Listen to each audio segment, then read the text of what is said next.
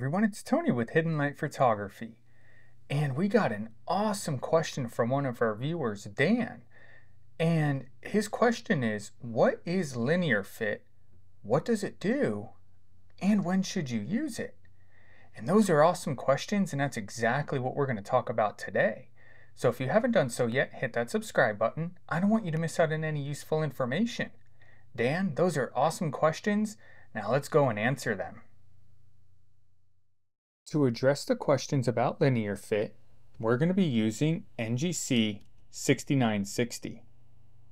And the questions are, what is linear fit? What does it do? And when should you use it? And those are amazing questions, and that's what we're going to answer today. Now, as you can see, NGC 6960 here has a very heavy green cast and this image was taken with a one-shot color camera. Now keep in mind, even if you image in mono, you can still have a heavy cast in your combined image. And that's where linear fit comes in. Now, you're not always going to have a green cast. That cast can be any color. And it's due to a color imbalance in your image. And that's where linear fit comes in. Now, when we think about the three questions, we can actually answer two of them in one go, and that is what is linear fit and what does it do? Now, linear fit is a process located in process all processes and will come down to linear fit. Now, when you look at the process window, you'll see that you need a reference image. And that reference image is an image of your choice. It's really going to depend on what you're looking for in your image. And we're going to go over that. Now, what I'm going to do here is I'm going to keep our primary image here and I'm going to run linear fit using three different methods. Using a reference of lowest, using a reference in the middle, and using a reference of the highest value. Now, what I'm going to do here, I'm going to go into Script, HLP, Astro Image Primer. Now, this is my script, and it uses linear fit to um, balance the color channels, the initial correction phase of your image. And we're going to do a little experiment here. So I'm going to choose our primary image here. And first, I'm going to run with the lowest mean. I'm going to hit execute. And what the script is going to do is it's going to split the color channels into uh, their individual channels and it's going to use, in this case, the lowest mean as the reference channel for linear fit. And then what we're going to do here is exit out of the script and then we're going to name this lowest. Let's minimize that for a moment. Let's open up the script again. And this time, we're going to go ahead and use the middle mean as the reference. Again, the script is going to split the image into its individual color channels. Only this time, it's going to use the middle mean as the reference. And then once this is done running, we're going to go ahead and close out of the script and name the image middle. So let's go ahead and name this middle. We'll minimize and put off to the side. And we'll do this one more time. And this time we're going to use the highest mean as the reference. So we'll go ahead and execute. And finally, the script is going to separate the image into its individual color channels and use the highest mean as the reference image. And once this is done running, we'll close out of the script and name our image highest. So let's exit out of the script and name this one highest. So let's go ahead and do a quick stretch on all three of these. And as we can see here, the heavy color cast is now gone on all three of these images. So what happened? Let's go ahead and examine this. Let's minimize all three of our images here and also minimize our main image. Let's go into process, all processes, and let's go down to statistics. Let's go ahead and choose our main image, the image that we started with. And we're using 16-bit, and we're going to look at the mean values. As we can see here, blue had a mean value of 64.434. Green had a mean value of 110.984. And red had a mean value of 66.576. So these are essentially the brightness values of our pixels. This is the average brightness value of our pixels. Now, when we run linear fit, we're choosing a reference frame, a reference image, and it can be your highest mean, your middle mean, or your lowest mean. And that's exactly what we did on these. This was done with a reference of the lowest mean, a reference of the middle mean, and a reference of the highest mean. So what linear fit does, linear fit will take your primary image and it will equal out, normalize, if you will, the three color channels to match the value of your chosen reference. So let's examine this. If we take our lowest mean here, which was blue, which had a value of 60, 64.434, and we come down and we look at lowest, all of a sudden we see that all three channels have essentially or close to a matching mean value. Similarly, if we go and we choose our middle uh, image, this one had a value of 66.576 and we examine middle, we see that our uh, three channels have close to the same value as our middle channel. And then the same if we look at the highest mean, which was green at 110.984, we examine highest, all of our channels were made to match the highest. And that's what linear fit does. So if we take a deeper look into this or a different look, we go to process all processes and we come down to generalized hyperbolic stretch.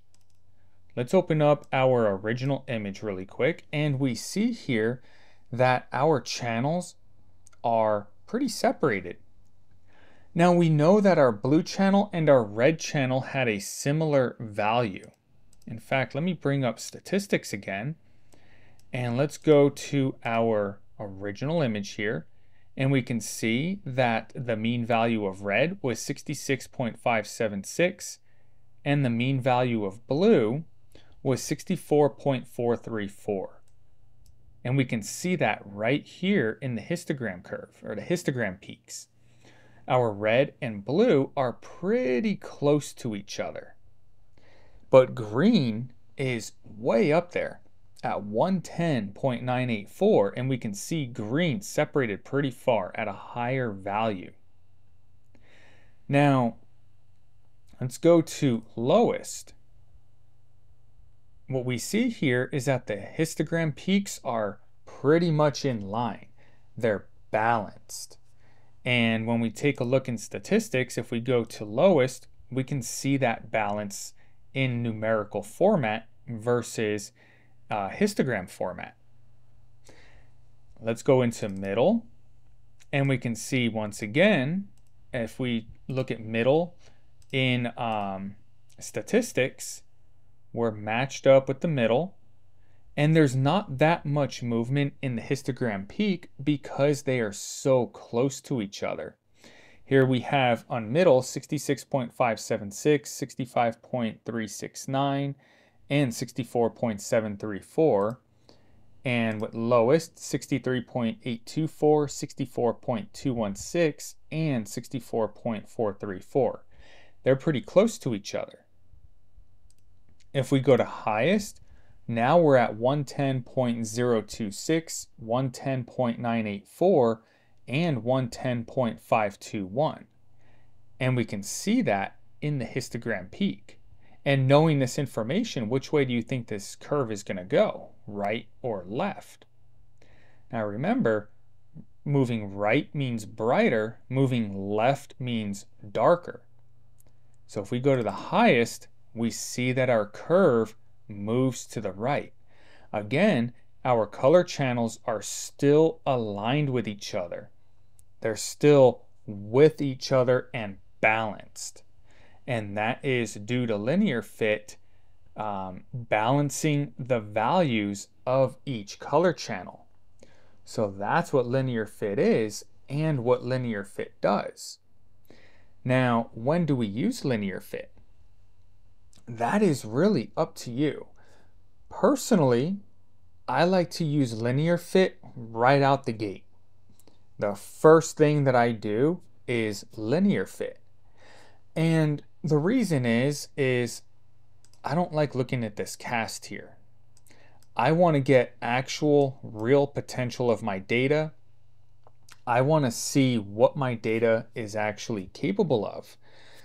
Now, yes, you can essentially do the same thing. If we were to take, let's um, hop into uh, screen transfer function here. We could technically do an unlinked stretch on this and get pretty much the same result. The problem is, is our color channels are still imbalanced. This right here, using an unlinked stretch with screen transfer function, it's a, it's a synthetic effect. It's not real. And I want to work with my balanced color channels. So doing a linked stretch, the only way to get the uh, green cast gone is to do a process like linear fit. Now, when you're using WBPP, you can actually have it separate out your color channels and um, work with them individually right out the gate. You can have it combine your color channels if you're using one shot color, um, in which case you're going to want to separate your color channels out and do linear fit, or you can use my script here, Astro Image Primer, and you can throw in your combined image. It'll automatically separate and you can choose to leave the channel separated or have it combine them. I have a whole video going over this script, so I don't want to cause any confusion. Um, but realistically, I like to do linear fit as the absolute first thing that I do to an image. So I have my color channels balanced. I'm using a linked stretch, so everything is real. It's the real potential of your image. And using middle, lowest, highest as far as reference, um, if I have a lot of dim areas in an image, I'll tend to lean more towards the um, highest mean as a reference. If I have a lot of bright areas that I want to keep tame, I'll tend to lean more towards the lowest. When, when it comes to that, it, it's really up to you. Um, it's going to be learning your data, how it reacts. Experiment with it, play with it. That's what this is all about is finding your groove and doing what you need to do and what you want to do with your data. Again, your vision, your creation. Now, um, linear fit is a very good tool. Um, I'll do it with galaxies. I'll do it with um, with nebula. But uh, another question that kind of pops up is do I work with my color channels separated or do I work with them combined? In other words, after I run linear fit, should I leave the channel separated and process from there? Or should I run linear fit and recombine? And again, um, that is completely up to you. Generally speaking, if I'm working with a nebula like you see here, NGC 6960, I'll work my color channels individually and then um, I'll combine them again after stretching them. If I'm working with a galaxy, I will go ahead and combine them after linear fit and then process as normal, just with a combined image versus individual. And the reason is is just the colors, right? Usually when we're imaging nebula, we're imaging them in narrowband or false color palettes. And a lot of times, a lot of these nebula, uh, we'll take IC 1805, um, you know, we'll take uh, uh, Pelican and, and things like that. They, they tend to have a more red uh, natural color. Um, it doesn't matter if you do this with those images, when you run SPCC, they'll turn out red because SPCC is designed to bring it into a more natural form. Whereas galaxies, you're imaging those in broadband, you're in more natural uh, wavelengths. So processing them with in, uh, separated channels, you tend to get more away from that. Again, it's your vision, your creation. So do it how you want to do it, and it's okay. But just to kind of answer uh, what linear fit is, what it does, when to use it, I hope that this uh, kind of sheds some light on that. And uh, again, you know, you'll see a lot of people using linear fit in uh, different um, points within their workflow. I like to just do it right away balance the color channels right away, get rid of this green cast so I can be on a linked stretch, which is a real stretch, uh, auto stretch, I should say, and I'm working with uh, the actual potential of my data.